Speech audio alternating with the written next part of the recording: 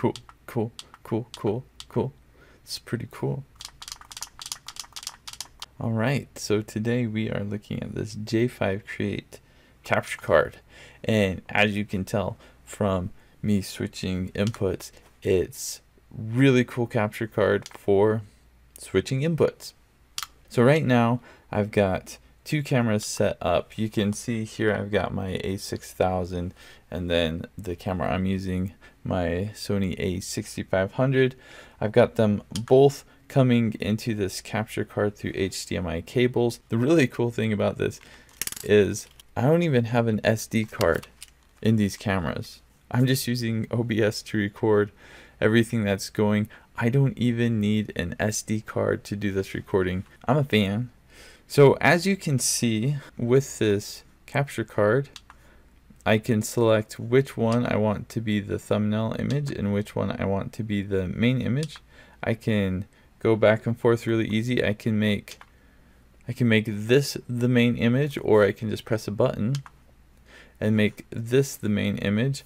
Really simple to switch back and forth. Another cool thing about this is right now I'm talking right now I'm talking into this XLR mic. What I can do is I can actually turn this off in OBS, turn on the mic input for the camera. So if we have a look here, you've got switches for mics. You can actually plug in a mic with a 3.5 millimeter jack and you can actually turn the mic on here. So I'm going to mute myself in OBS here.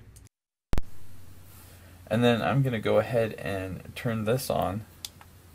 Now the audio you're hearing is coming from my camera source going through the HDMI cable. Wherever your camera is or your input source, you can decide which audio input you want to go in as well. Let me go ahead and switch back. I'll turn this off.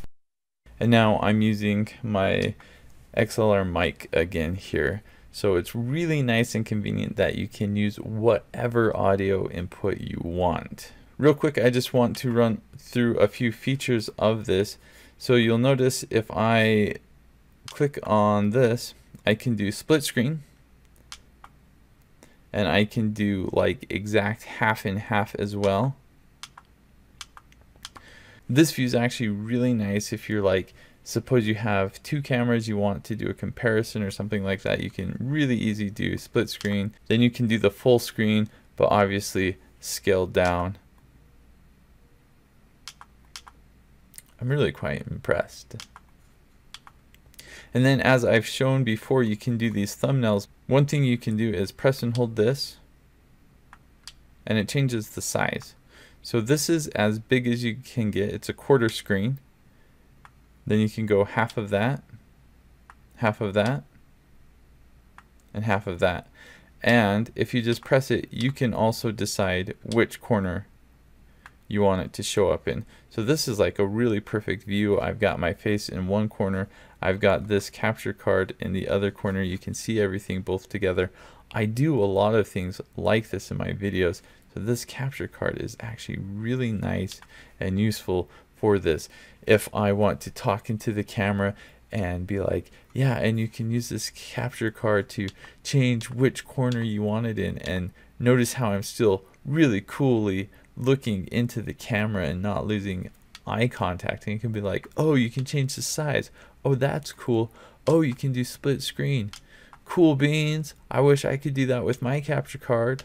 Well, you can't because you don't have this one unless you buy it and then you will and then you can be cool like me who never loses eye contact with the camera just keeps on talking all the time for no apparent reason. The last thing I want to talk about is overall quality.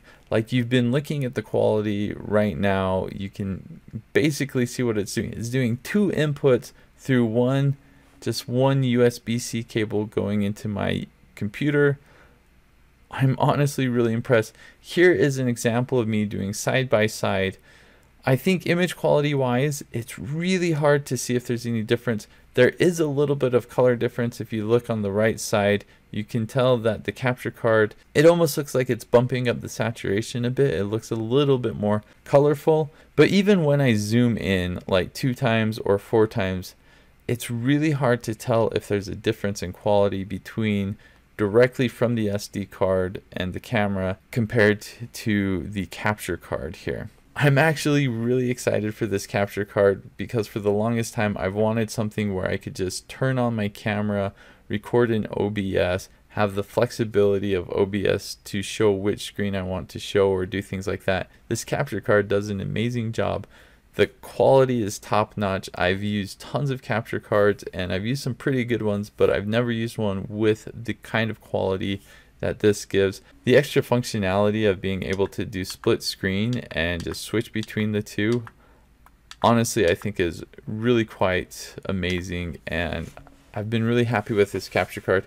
I do want to point out that J5 sent this to me to do a review. Thank you, J5. I actually really like this. I'm going to be using this probably for almost all of my videos going forward because I do like it so much. They didn't tell me what to say in this review, just asked if I'd review it. So th this is my review. Let me know if you have any questions. If you'd like to see a comparison video of a bunch of budget capture cards, let me know if that's something that interests you. You can write a comment below or something like that. I have about five or six. They all range from this good to really, really crappy. It's hard to know which capture card is good, but this for sure is a good one. I've been really happy with this. So yeah, hopefully this video helped you out and have a wonderful day. Or try to. That's all that counts, is if you try well, I, other things count, but